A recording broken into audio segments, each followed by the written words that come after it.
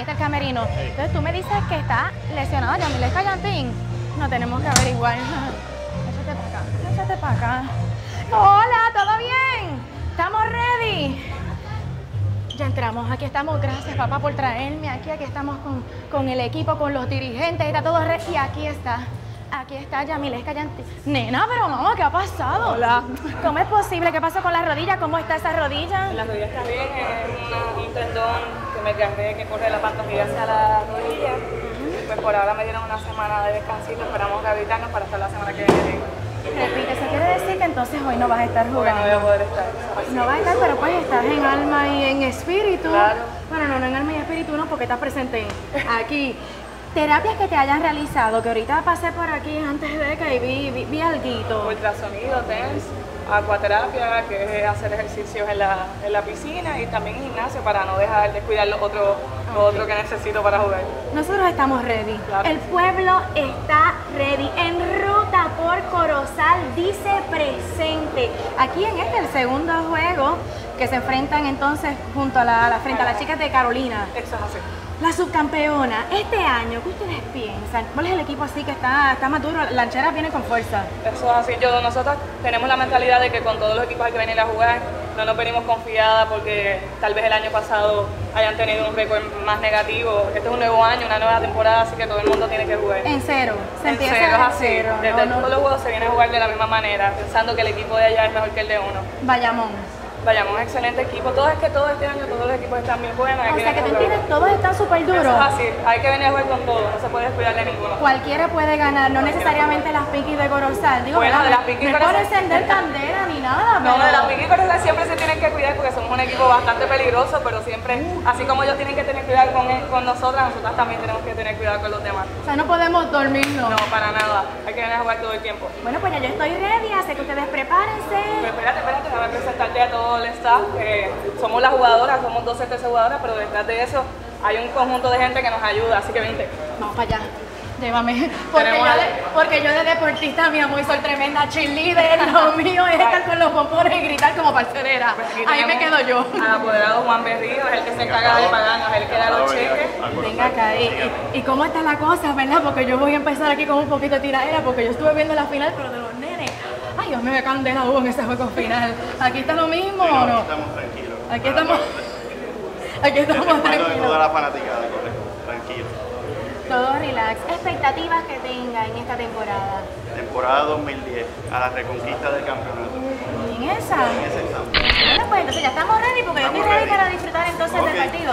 Espérate, espérate, tú no vas a salir de la cancha, de aquí para la cancha, sin una camisa colosal. En- Así que acompáñame y te doy mi camisa.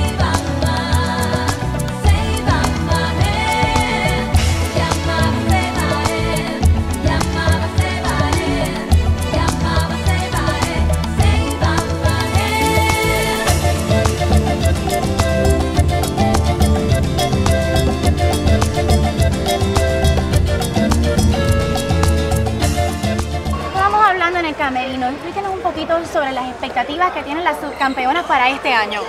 Bueno, pues las expectativas serían reconquistar el, el campeonato. Este, estamos trabajando fuerte para eso y la temporada está empezando, así que vamos a, a ir juego tras juego para lograr la meta. Eh, reto más grande al que se van a enfrentar.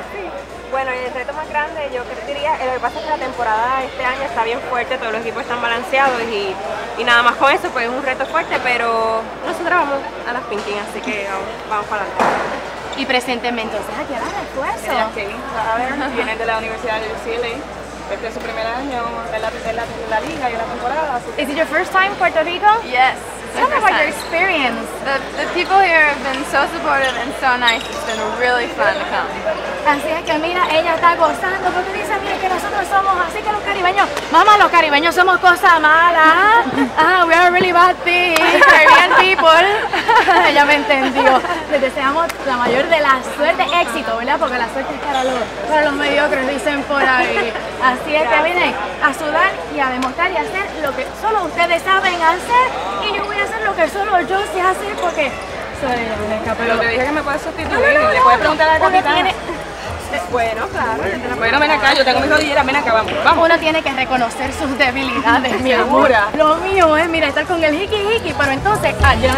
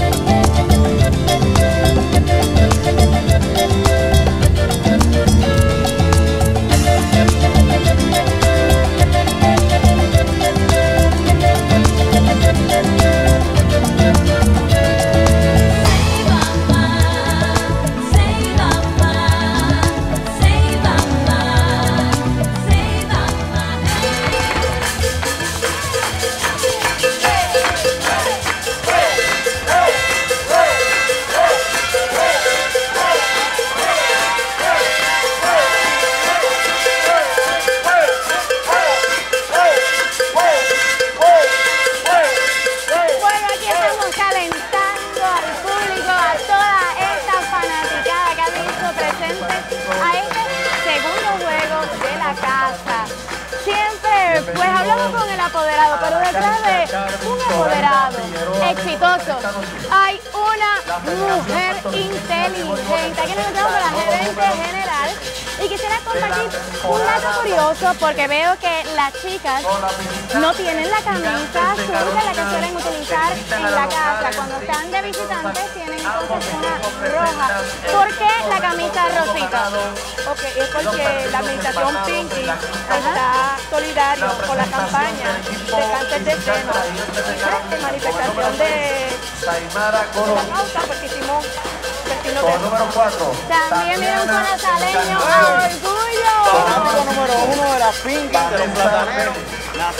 Con el número 7, Más querido. Madeline Ahora, ahora González. que,